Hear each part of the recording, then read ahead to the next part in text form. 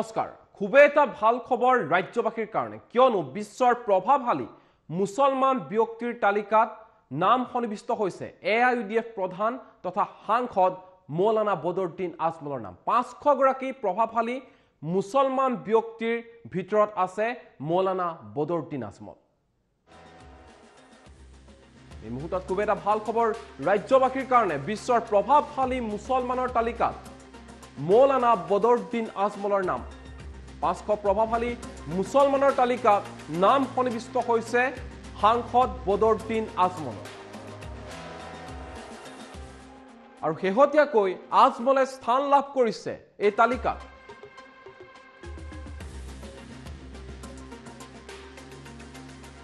আজমলৰ নাম প্ৰকাশ পোৱাৰ পিছতে আনন্দিত হৈ পৰিছে দলীয় কৰ্মী তথা ৰাইজ।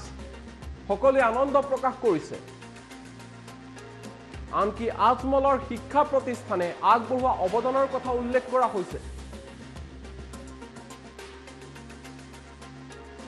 বিভিন্ন ৰাজহুৱা কামেৰে মুছলমানৰ প্ৰভাৱশালী তালিকাত জিলিকিছে এতিয়া মৌলানা বদৰুদ্দিন আজমল এই মুহূৰ্তত ভাল খবৰটো জনাই আছো যে বিশ্বৰ প্ৰভাৱশালী মুছলমান ব্যক্তিৰ তালিকাত নাম সন্নিৱিষ্ট হৈছে সাংসদ তথা A I U D F প্ৰধান মৌলানা বদৰুদ্দিন আজমলৰ নাম। পাঁচশজনকৈ প্ৰভাৱশালী ব্যক্তিৰ ভিতৰত এজন হৈছে মৌলানা বদৰুদ্দিন আজমল। আৰু বদৰুদ্দিন আজমলৰ সমাজৰ হকে যিখিনি কাম কৰি আছে তেওঁৰ শিক্ষা প্ৰতিষ্ঠানেই হওক নতুবা আন ৰাজহুৱা কৰ্মৰাজিয়ে হওক সেই কৰ্মৰাজিৰ ফলশ্ৰুতি বিশ্বৰ ভিতৰতে পাঁচশগৰাকী প্ৰভাৱশালী মুছলমান ব্যক্তিৰ তালিকাত নিজৰ নাম অন্তৰ্ভুক্ত কৰিবলৈ সক্ষম হৈছে মৌলানা বদৰুদ্দিন আজমল। আৰু মৌলানা বদৰুদ্দিন আজমলৰ নাম সন্নিৱিষ্ট হোৱাৰ লগে লগে এতিয়া সকলোৱে আনন্দ প্ৰকাশ কৰিছে। সকলোৱে প্ৰশংসাৰে উপচাই পেলাইছে মৌলানা বদৰুদ্দিন আজমলক। আৰু এই মুহূৰ্তত মন্তব্য আছে সেই মন্তব্য শুনাই ল'ব বিচাৰিছোঁ টাইম এইটৰ দৰ্শকক।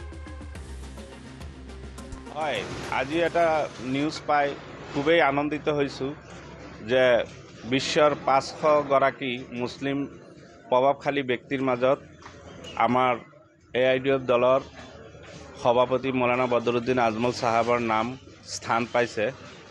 গতিকে আমি বিশেষকৈ ভাৰত ভাৰতবৰ্ষবাসী আৰু বিশেষকৈ হোজাইত যে আমাৰ এক সুযোগ্য সন্তান মৌলানা বদৰুদ্দিন আজমল চাহাবে এই ভাৰতৰ বিশ্বৰ পাঁচশগৰাকী প্ৰভাৱশালী ব্যক্তিৰ মাজত যে তেওঁ স্থান পাইছে, তাৰ বাবে আমি খুবেই আনন্দিত। আৰু তেওঁ বিশেষকৈ, মই এইটোৱে ক'ব বিচাৰিছোঁ, তেওঁ এই স্থানৰ অধিকাৰীয়েই। কাৰণ তেওঁ এজন ধনাত্মক আৰু সুদীৰ্ঘ ৰাজনীতিবিদ আৰু দাতা হিচাপে, গতিকে আমি সকলো অসমবাসীয়ে তেওঁৰ দু- দীৰ্ঘায়ু কামনা কৰি আছোঁ আৰু উজ্জ্বল ভৱিষ্যত কামনা কৰি আছোঁ যে এই স্থান পোৱাৰ বাবে। দলীয় কর্মী হিসাবে তেওঁক লৈ গৰ্বিত